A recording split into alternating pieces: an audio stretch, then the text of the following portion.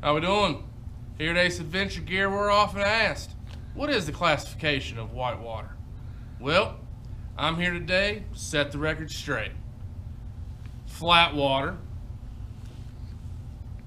class one, class two, class three, class four, class five, and class six.